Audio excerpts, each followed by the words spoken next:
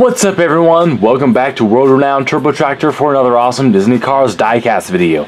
And today we are going to be taking a look at brand new Mater, a retro Radiator Springs classic diecast.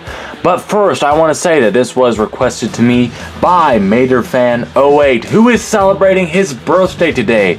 So I hope you are having a fantastic day on your birthday today. I wish you a very happy birthday with lots of great memories, a great time, and maybe even some Disney Cars gifts.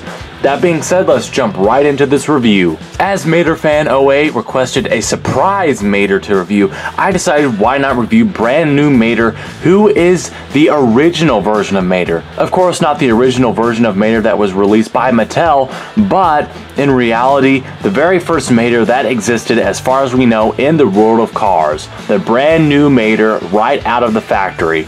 If they're made in a factory, I'm not sure, but you get the idea. He was, however, released pretty early on, starting in the second Cars mainline of 2007, around that time, in the Supercharged line and he has been released as a single quite a few times since then. This particular version of him is a Thailand variant that I got in 2020. He didn't have a whole lot of screen time in cars, however, he did have a pretty significant appearance as he appeared during the Retro Radiator Springs flashback sequence. Taking an up close look at him, we can see that he has this brand new paint job in this really light blue, which looks pretty nice, and there is not a scratch on it as his paint job is brand new, of course. He also has a very happy expression, his eyes and teeth don't change throughout the years. You can see he has greenish brownish eyes right there as well as two large front teeth up there in the front. And you can see his headlights are painted in gray there. Of course because this was made in Thailand they are a little bit grainy unfortunately but they don't look too bad all things considered. You can see that he has these white painted rims right here on his very heavy duty tires he has double tires here on the back, as well as those white painted rims again. And we can see in white paint, though it is a little bit hard to read because the white has to contrast on this bright blue. It is a little bit hard to read, but it says Towmater Towing and Salvage Radiator Springs. That is, of course, his business. We also see the door handle here painted in gray and we can see the rear view mirrors right here which are a gray plastic and are attached to the side. And you can also see the window right there.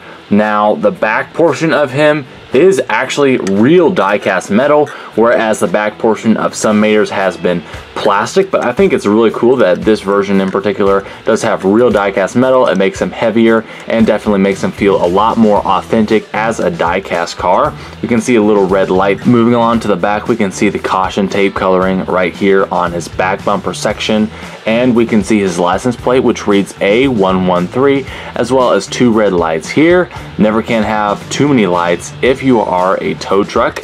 And then on the back here, he has this towing cable section, which is a bit of a soft plastic, but it's attached fairly firmly. Of course, it's just simply painted gray, and you can see his tow hook, which does have some flex to it in the back there. And he has these four orange roof lights. Comparing him to his normal rusted out version as we know him best, you can see he has a very similar expression, a very happy one, though his mouth is a bit different. Of course, his eyes are the same color, wouldn't make sense if they weren't. You can obviously see the main difference is that this one is very rusty, whereas this one has a brand new paint finish, so a very stark contrast there. You can also see that this headlight has been busted out on the normal version, whereas it is still intact in this brand new version. And of course, as you know, he lost his hood somewhere on down the line, so his hood is missing. You can see right to his engine right there. Even his rims on the side have been rusted out. Some of his Mater Towing and Salvage logo does remain, along with the light blue paint right there that we see here. His towing apparatus has also rusted out, though you can see a little bit of the light blue there in the back section. Some of that blue is also still present here. And you can also see that there is some of the caution right here in the back, but overall he has been weathered quite a bit. Now we can also see that one of the roof lights is busted out right there on the normal version, whereas it is still in one piece on the brand new version. And that's about it for this review of brand new Mater. What can I say? His paint job looks pretty fresh, and he doesn't look fresh all that often, but when he does in this case, he looks really, really fresh, man. Thank you so much, MaterFan08, for requesting this for your birthday. Once again, I hope it's a great one. Everyone, thank you so much for watching this video, and I'll see you next time. But whatever you do, be sure you do not click the video on the screen.